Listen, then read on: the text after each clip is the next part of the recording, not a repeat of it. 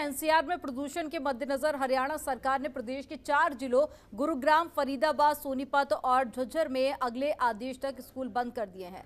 पर्यावरण विभाग के अतिरिक्त मुख्य सचिव की ओर से जारी आदेशों में स्कूल बंद करने को कहा गया है।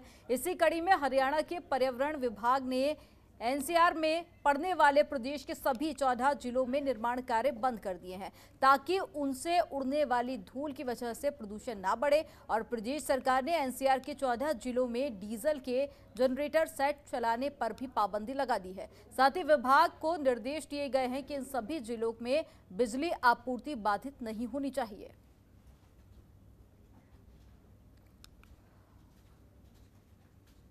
ज़्यादा जानकारी के साथ में संवाददाता ओपी शर्मा जुड़ गए हैं। ओपी, क्या कुछ निर्देश दिए गए हैं और पॉल्यूशन को कंट्रोल करने के लिए क्या कुछ खास व्यवस्थाएँ देखी जा रही हैं? देखिए, अमन, जिस तरीके से सरकार ने पिछली बार जो आदेश दिया था स्कूलों को एनसीआर में बंद करने का और निर्माण कार्य या वो सभी कार्य जिनसे कहीं ना कहीं पर्यावरण प्रदूषण होता है या एयर पॉल्यूशन होता है तो उसको चलते हुए जो आदेश जारी किए थे, उन्हीं को जो है एक बार फिर समय के लिए जो जो है वो पोस्टपोन कर दिया गया है तो अब देखते हैं कि कब तक ये जारी रहेगा क्योंकि फ़िलहाल जो है अगर हम एनसीआर की बात करें तो इस वक्त एनसीआर में पॉल्यूशन बहुत ज़्यादा है और कल और कल ही सुप्रीम कोर्ट में सुनवाई भी हुई थी। सुप्रीम कोर्ट ने जिस तरीके से फटकार लगाई है कि पॉल्यूशन कम नहीं हो रहा सरकारें कुछ नहीं करती उसी के मद्देनजर कहीं ना कहीं जो हरियाणा सरकार ने भी ये फैसला लिया है। तो इसके तहत जो एनसीआर के चार ज़िले हैं गुरुग्राम फरीदाबाद झज्जर सोनीपत इन सभी में स्कूल बंद रहेंगे और चौदह जिलों में जिनमें जो दिल्ली से लगते हुए चौदह ज़िले हरियाणा के तो उन सभी में निर्माण कार्य जो है वो बंद रहेगा क्योंकि अभी भी जो एयर की क्वालिटी है वो ज़्यादा अच्छी नहीं है। उम्मीद की जा रही है कि पाँच दिसंबर को हरियाणा में बारिश की संभावनाएँ फोरकास्टिंग की गई है। वेस्टर्न डिस्टर्बेंस के चलते फ़िलहाल सोमवार जो एक दिसंबर से जो है वो मौसम जो है वो बदला हुआ है। अगर इस बीच अगर पाँच तारीख को बारिश लगती है तो जो एयर पोल्यूशन है उसमें काफ़ी हद तक कमी आएगी उम्मीद है कि जो है स्कूल और बाकी कार्य जो है वो शुरू हो सकते हैं। जी। ओपी सुप्रीम कोर्ट में एक रिपोर्ट में यह भी दावा किया गया था कि सबसे ज़्यादा पॉल्यूशन का स्तर प्रदूषण जो बढ़ता है वो वाहनों के धुएँ से बढ़ता है। तो उसको लेकर क्या व्यवस्थाएँ हैं?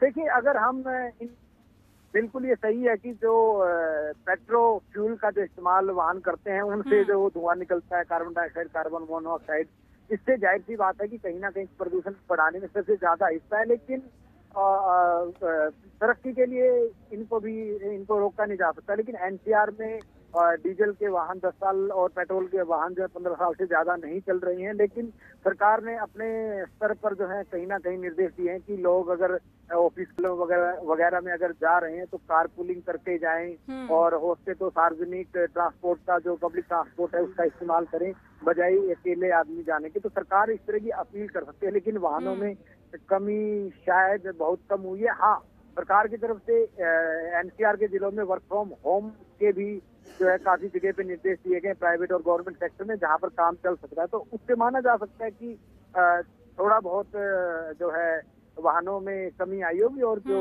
कार्बन तो कह सकते हैं ओपी की सरकार द्वारा सभी व्यवस्थाएँ कर ली गई है। अब ज़रूरत है जनता के सहयोग की। तमाम जानकारी साझा करने के लिए बहुत शुक्रिया आपका। पंजाब के गुरदासपुर ज़िले में आरडीएक्स मिलने के बाद अब टिफ़िन बम और चार हैंड ग्रेनेड मिलने से हड़कंप मच गया है। पुलिस ने तलाशी अभियान के बाद गुरदासपुर के सलेमपुर एरियन रोड क्षेत्र में एक बैग में ये टिफ़िन बम और हैंड ग्रेनेड बरामद किया है। इसके बाद पूरे क्षेत्र में तलाशी अभियान चलाया जा रहा है। आपको बता दें कि मंगलवार को थाना दीनानगर पुलिस ने 900 ग्राम आरडीएक्स और भेड़ी मियाँ खां में दो हैंड ग्रेनेड बरामद किए थे। और इसके बाद से ही गुरदासपुर सदर थाना की पुलिस ने एक टिफ़िन बम और साथ ही चार हैंड ग्रेनेड बरामद किए हैं। पुलिस ने हथियारों को कब्जे में लेकर जाँच शुरू कर दी है।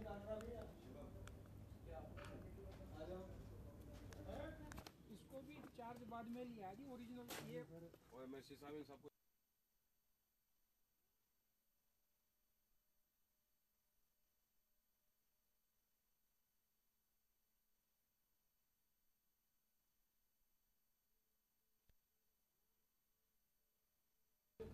हरियाणा के अलग अलग इलाकों में बार बार रखरखाव के अभाव में करोड़ों का गेहूँ हर साल बर्बाद हो रहा है। हाल ही में यमुनानगर के बिलासपुर में 80 लाख से अधिक का गेहूँ खुले आसमान के नीचे रखने की वजह से बर्बाद हो गया। इसी को लेकर हरियाणा वेयरहाउस कॉरपोरेशन ने रखरखाव का काम निजी कंपनी को देने का फैसला लिया है। कॉरपोरेशन के चेयरमैन नयनपाल रावत ने मीडिया से बातचीत करते हुए कहा कि 9 लाख मीट्रिक टन गेहूँ के रखरखाव के लिए कंपनी को ऑनलाइन टेंडर दिया गया है और कंपनी की ज़िम्मेदारी रखरखाव से लेकर मरम्मत तक की होगी। उन्होंने कहा कि बार बार रखरखाव को लेकर दिक्कत आती है।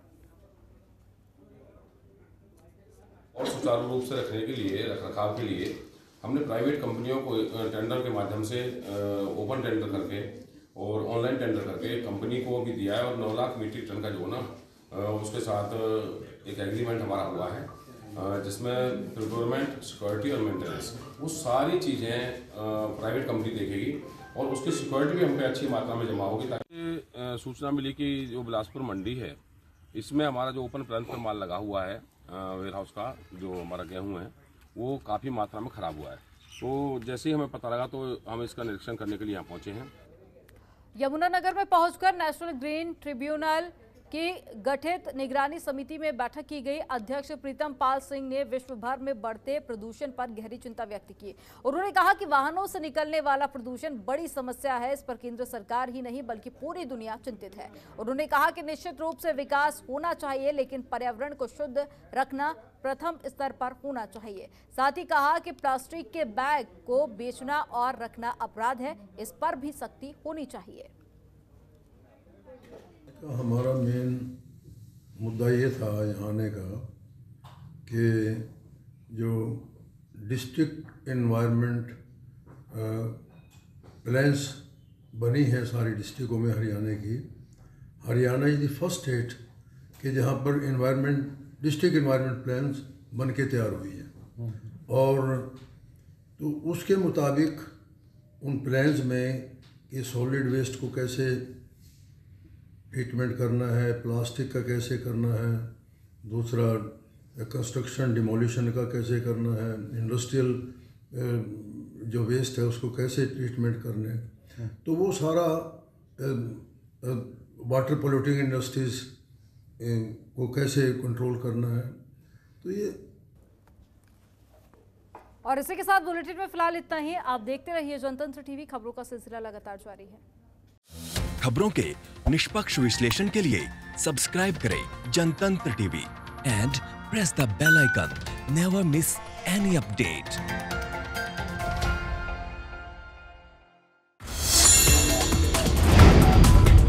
download the Jantantra TV app available on Google Play and App Store download it now